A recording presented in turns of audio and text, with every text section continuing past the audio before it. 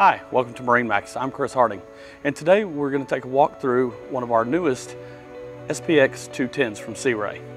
So as we start back here at the transom, you'll notice that we've optioned this boat out really, really well. Uh, we've got the Fotique uh, that's been installed on the integrated swim platform. We've got a transom stereo remote from Rockford Fosgate along with a 12 volt uh, charger for it.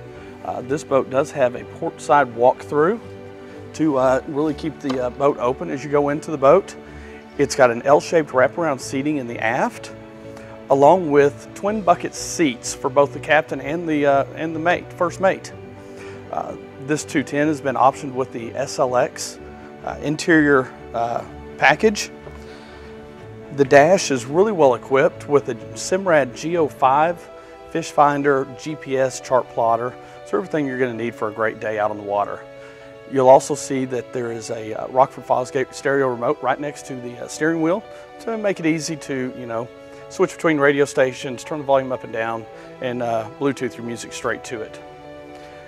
As we move into the bow, you have some really nice port and starboard side seating, plenty of room, uh, non-skid up on the front so that you can uh, board uh, from the front of the boat into the inside of the boat.